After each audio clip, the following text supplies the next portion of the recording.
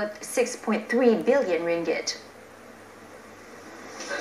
Lim was alleged to have committed the offence between January 2011 and August 2017 at the Chief Minister's office in Komtar.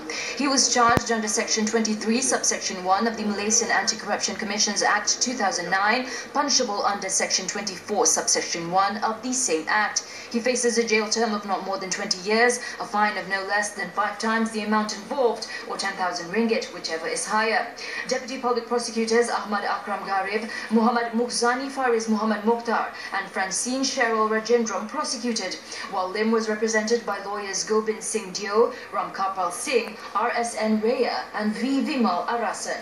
Ahmad Akram started the proceedings on Monday by applying for the case to be transferred to the Kuala Lumpur Sessions Court.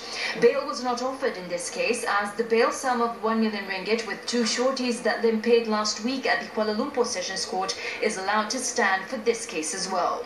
Both cases will be heard at the Kuala Lumpur Sessions Court on September 9th.